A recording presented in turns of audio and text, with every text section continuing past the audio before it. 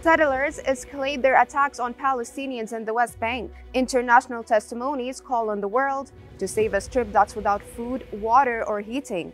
And a disease has actually begun to spread among the people of Gaza.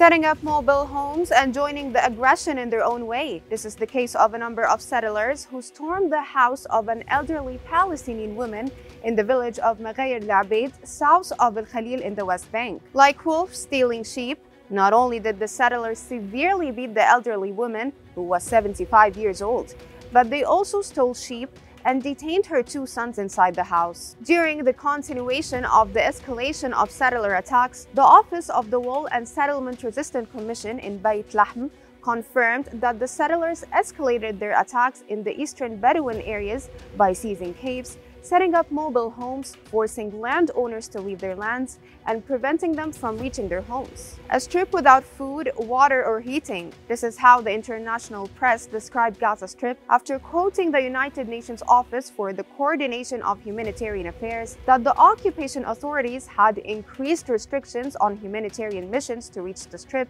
since the beginning of the new year. Only seven batches of food, water, and medicine arrived in northern Gaza out of 29 batches that were initially planned for since the beginning of 2024. The United Nations office confirms that these restrictions do not only prevent aid from reaching the northern Gaza Strip, but they also prevent it to reach other areas in the center and south. The warnings have come to an end and the disaster has already begun. The Palestinian Ministry of Health confirmed the spread of hepatitis as a result of overcrowding in displacement sites in Gaza Strip with the continuation of the Israeli aggression the scarcity of medical materials, and the cessation of blood testing.